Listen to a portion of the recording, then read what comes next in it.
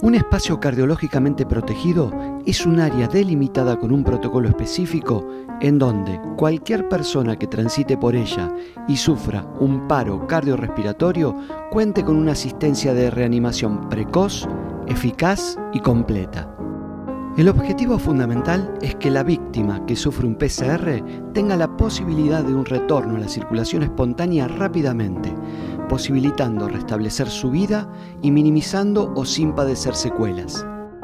Para que el sistema tenga éxito, la asistencia con desfibrilación incluida debe planificarse en los primeros tres minutos de ocurrido el hecho.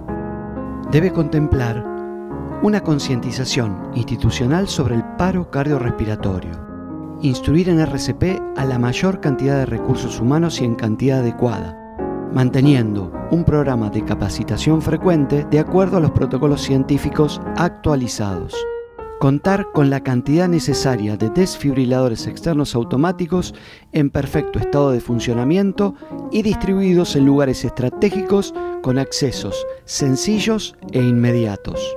Formar al personal estable en el correcto uso del DEA con los permisos correspondientes de acuerdo a la legislación vigente. Generar un registro de actuación en caso de un evento de reanimación evaluando los métodos y tiempos y en base a los resultados realizar las correcciones necesarias. Cualquier lugar puede convertirse en un espacio cardiológicamente protegido con el ánimo de preservar la vida de nuestros seres queridos. Y es recomendado en áreas donde haya mucha afluencia de público o donde se practique deporte o se identifiquen factores de riesgo o donde existen personas bajo nuestra responsabilidad. Contar con un espacio cardiológicamente protegido en un ambiente público o privado salva vidas. Aprende, actúa y viví más.